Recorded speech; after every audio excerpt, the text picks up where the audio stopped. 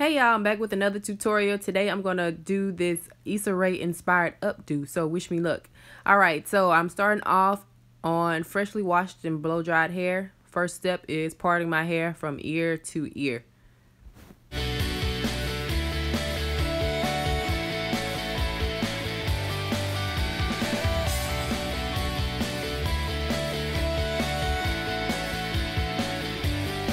Now that I've got those two sections separated, I'm going to start with the front of half of my hair. I'm going to be installing 10 medium-sized braids going straight back. So to get a clean and sleek look, I'm going to be using this Murray's Edge Wax um, along, along my edge line as well as my roots.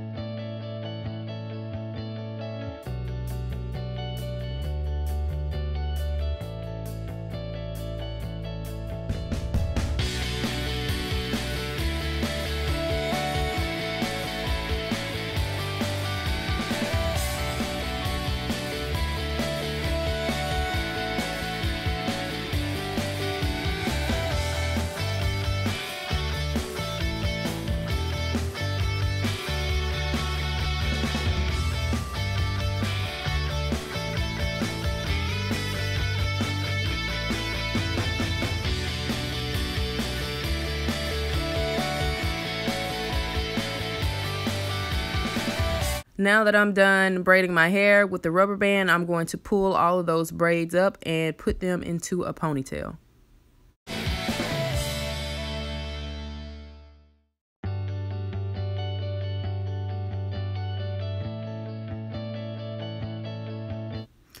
All right, now that I've made my ponytail, I'm just going to twist those ends up and then put a rubber band on the end to make sure it doesn't come loose.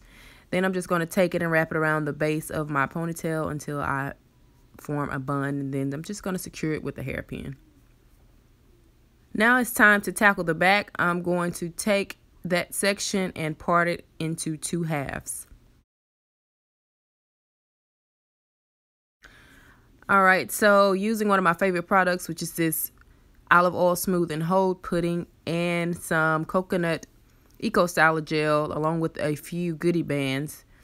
I'm going to put each half of uh, my hair into a ponytail. So I'm just going to apply a little bit of each product, brush it through, and then put it in a ponytail.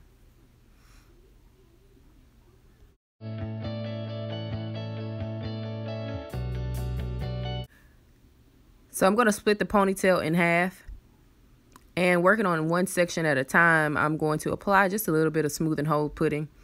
Then I'm going to start two strand twisting that small section of hair. I'm only going to twist it about two or three times and then plait it the rest of the way. And then I'm going to do the same thing on the other half of the ponytail.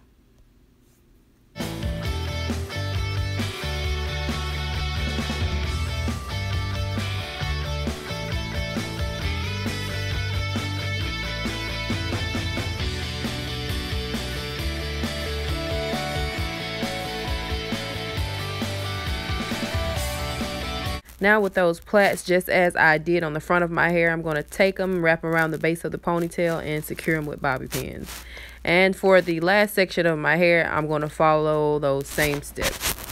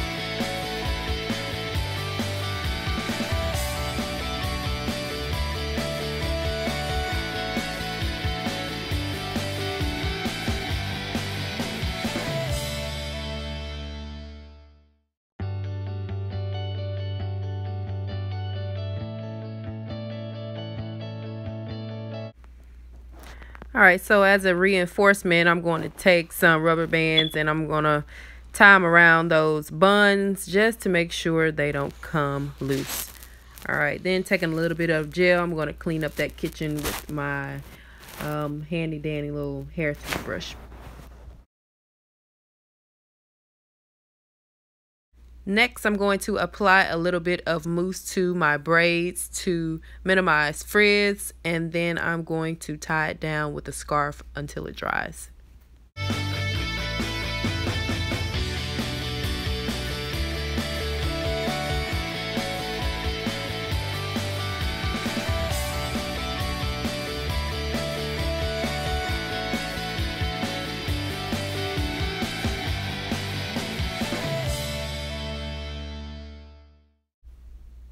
Now that my hair is dry, I'm going to take these two pieces of braiding hair that I twisted together and I'm going to use a rubber band to make a loop knot um, to use to attach it to my hair.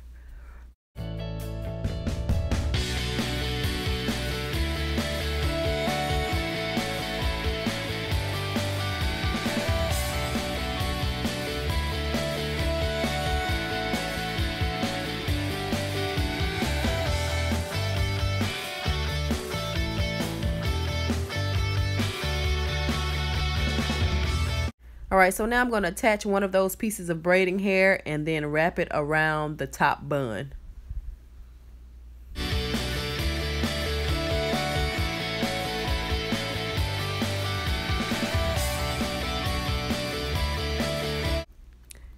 And of course, you want to secure that bun with a few bobby pins.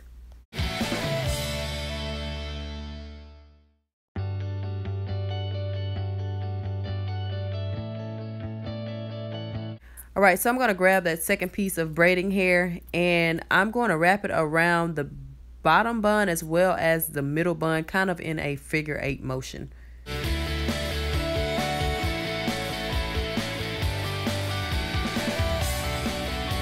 So I decided to go ahead and twist up some more braiding hair just to add a little bit of more volume to my buns. I'm going to attach this uh, third piece of braiding hair to the middle bun, wrap it around the middle and the uh, very back section in a figure eight, just as I did in the previous step. And as you can see, it's a lot fuller now. All right, so the very last step would be to secure everything with bobby pins just to make sure everything stays in place. And this is the final look, guys. This is a very easy style, very quick to do. Um, as I stated before, this style, I got this style from Issa Rae. She is one of my favorite hair inspirations. She's worn a couple styles that I would like to try out in the near future and that I would I will be doing some videos on. So give me a thumbs up if you like this video. And my son is here. He wants to tell you guys something. I'll see you guys on the next video.